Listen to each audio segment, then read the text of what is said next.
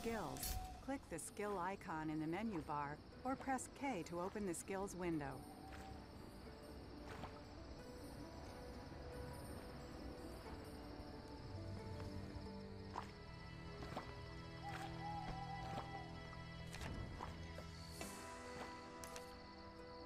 During combat, if you use a skill in your shortcut bar that has a highlighted frame, you can gain a bonus combo effect.